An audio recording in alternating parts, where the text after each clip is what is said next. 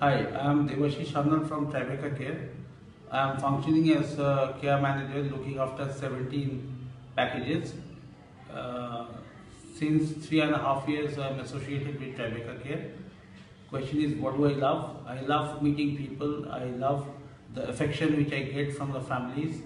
I love challenges when a crisis is on and I immensely cherish when people are out of station the dependence they shower on me so that I can look after them during times of old and I love the environment and atmosphere of Tribeca Care. Thank you.